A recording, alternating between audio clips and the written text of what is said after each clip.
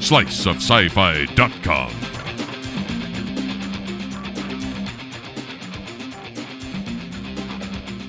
Hey Slicers, it's Brian here with a special report. I'm sitting here with director Joe Pearson and writer David Abramowitz of the animated, the 3D animated feature film War of the Worlds Goliath, which I want to start off by congratulating you guys on winning Best 3D Animated Feature Film at the Los Angeles 3D Film Festival. That must have felt amazing. And you were up against some serious competition with Paranorman and Madagascar 3. Can you tell me how does it feel to be such a successful 3D movie after working on it for so many years? Well, it's really gratifying. Um, I want to thank the people at the festival for giving us that kind of respect. I think a lot of it was because we were the only truly independent film at the festival. You know, we weren't a Disney or a, a DreamWorks or a Laika studio, but, but also I think War of the Worlds Goliath was a little different from the other films. It's a CG animated war movie really for teenagers and adults.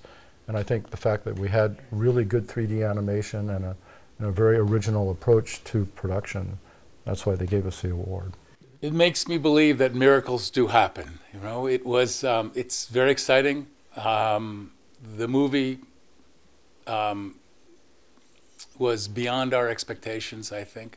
I think it turned out to be a visual treat, and um, and I wrote the script. So when you when the writer says it's a visual treat and doesn't say it's the writing schmuck, um, it is um, it's quite it's it's it's quite a compliment. Um, the the movie is stunning visually. Um, the the artwork, the 3D animation, um, and the sound effects and music are the equivalent of a major feature at a major studio. So we're very proud of it. Today at 11 a.m. in Sarajevo, Archduke Franz Ferdinand was assassinated. The Balkans are about to go to hell. Countries mobilizing against each other. Unless we're united, mankind is done for. Martians.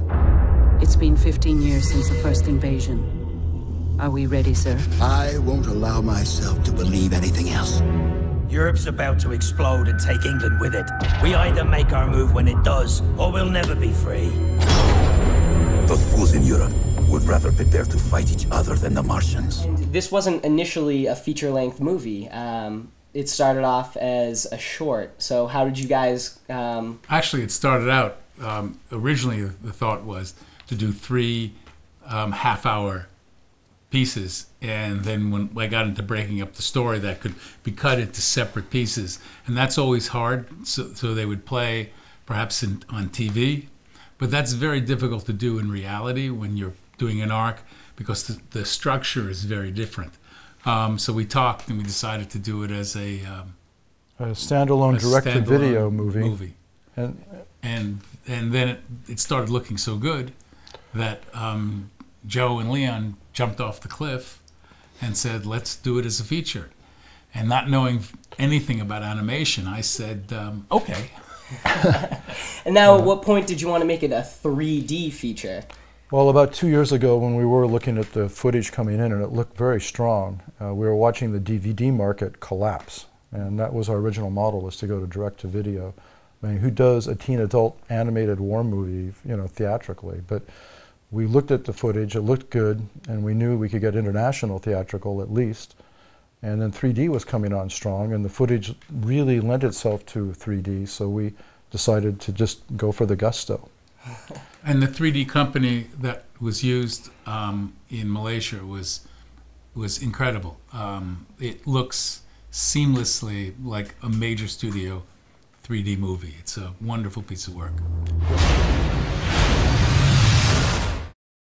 So, this being a multinational project, um, how did everyone come together and work so seamlessly to get this project done?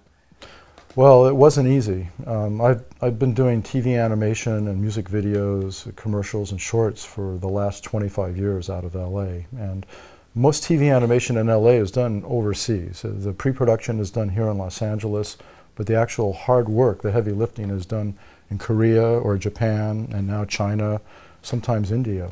So I knew going into this on our modest budget, we would have to do a variation of that model. As I said, I was lucky that we had such a terrific team of pre-production artists and post-production artists in Kuala Lumpur. Uh, and then the secret really was finding the right team in Korea to do the animation itself. And we worked with Sunmin Image Pictures and director Song, whom I've done numerous TV series and music videos with, because I knew they were a dependable team. They were artist run and artist oriented.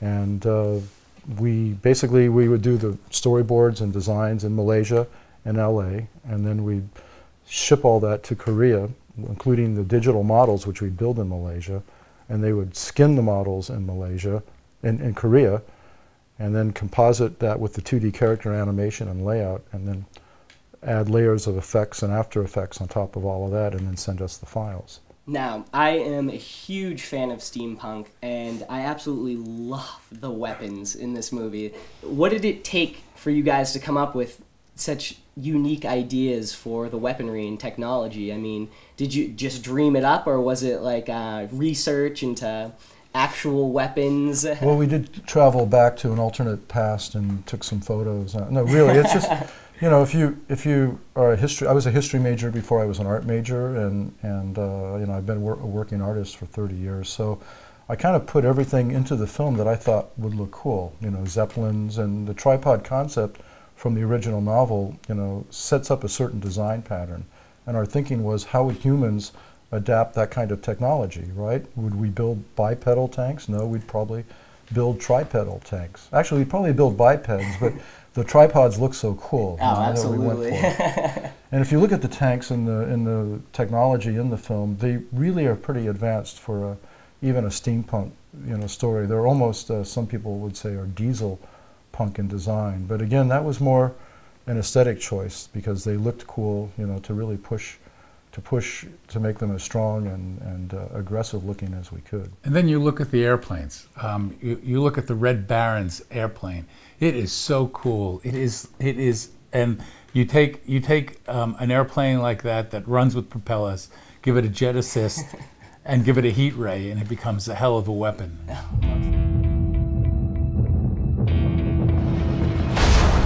Who will fight with me?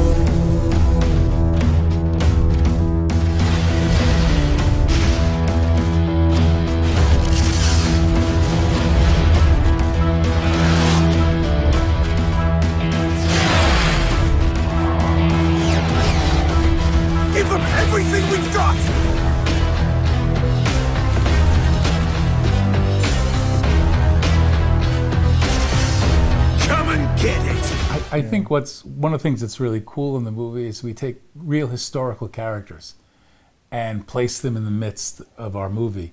Um, there's not a better Secretary of War than Teddy Roosevelt. You know, he's just perfect for the play, and and um, and Nikola Tesla as the mad scientist who who engineers, re-engineers the Mar- Martian technology, and to be in charge of the Air Force is to have the Red Baron, Baron von Richthofen, the greatest German ace in World War One. That doesn't happen because the Martians invade. So it's just it's an interesting mix of of reality, of real real characters, and places them in conditions that are so um, that are so incredible, and it's the fight for humanity to survive. I think one of the one of the aesthetics I told the design team was to kind of think of 1914 meets 1930 meets Star Wars. you know, so because I I wanted in our New York scenes, we have a lot of really great kind of deco buildings. Heck, we have the our version of the Empire State Building, which wasn't built until much later than 1914. But I feel like in this alternate history, you know, everything's been pushed and accelerated. And there's a monorail instead of a subway, you know. So why New York City? Was it just because it's so architecturally pleasing, or? Yeah, I mean, I think New York is in many ways the center of the world. It still is, you know. I mean, I, am a lifelong Angelino, but I think if you have to pick a great city, New York would be the place to go. If you were going to create a, a, an allied army to fight the Martians, you'd base it in New York. Turning the film into a, a 3D movie, does that change how you tell the story? Well, it doesn't change how, it can change how you tell the story, but we were fortunate enough that when I was directing this, to utilize the CG vehicles to their optimal uh, impact on the screen, I created a fair amount of 3D friendly scenes. You know, we have a shot in the film, it'll be coming up in a few minutes, where you actually travel down along the bottom of the Super Zeppelin as tripods are loaded up into the Zeppelin, right? And then you pull back and you go around the nose of the Zeppelin, then you zoom in along the top structure and right into the control room. And that's Very a cool. yeah, it's a great shot in 3D, but it was never intended to be 3D. It's just you know fortunate that that Worked approach out worked that with what I wanted to do. Yeah, and the way we did the 3D conversion was was aided by the fact that all of the work done in Korea, the animation, the layers, and the composites, are done on maybe uh, in some scenes we have up to 16 layers in one shot Wow. with foreground, background, midground, multiple layers of character, multiple layers of effects. So we got the Koreans to give all of those layers to us as individual files. So we had that to begin with. We could break down half the 3D process was was given to us by getting the layers out of Korea. But then after that, it became much more difficult. We had to take individual characters' faces, put like a CG frame around them, and actually warp the camera around the, the face to create you know foreground and background depth. It's subtle, it, it's but it's all there. That was the same process they used in The Lion King, and they use in live action conversion. They do a matte around it. So we we took six months to do the 3D conversion, even with the layers already in hand. Oh, So you uh, you studied a lot of other 3D movies to see what their technique was to adapt to your own. Is that correct?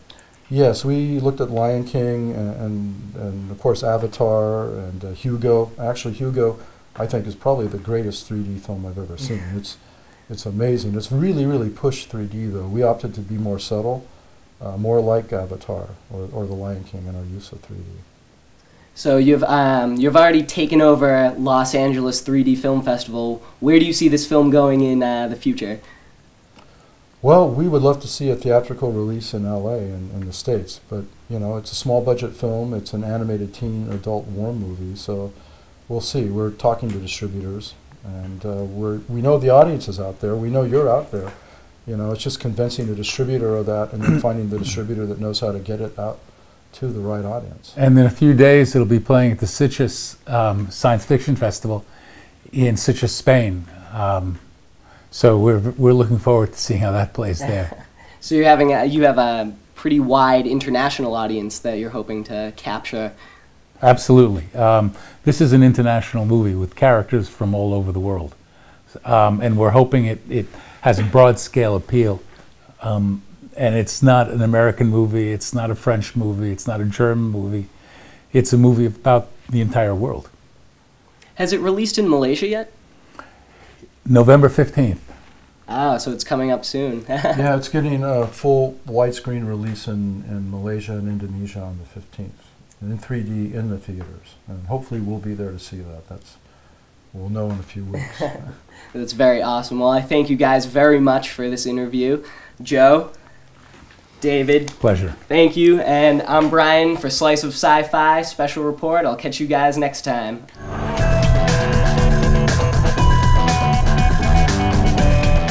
sliceofscifi.com.